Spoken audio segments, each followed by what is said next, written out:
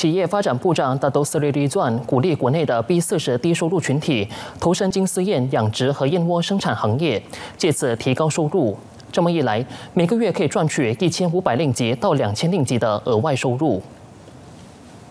李钻在哥打巴鲁出席吉兰丹企业家聚会后说，该部门随时准备好为 B 四十低收入群体提供援助，包括提供去除羽毛的机器以及相关行业的培训课程，全力协助他们进军燕窝生产业。李钻指出，由于海外市场还没有被打通，土著养燕业者大多不敢贸然投资开拓金丝燕养殖业。李钻也保证，该部门将会继续向 B 四十低收入群体伸出援手，以确保他们在获得充足的指导下。下勇于投身有关的行业，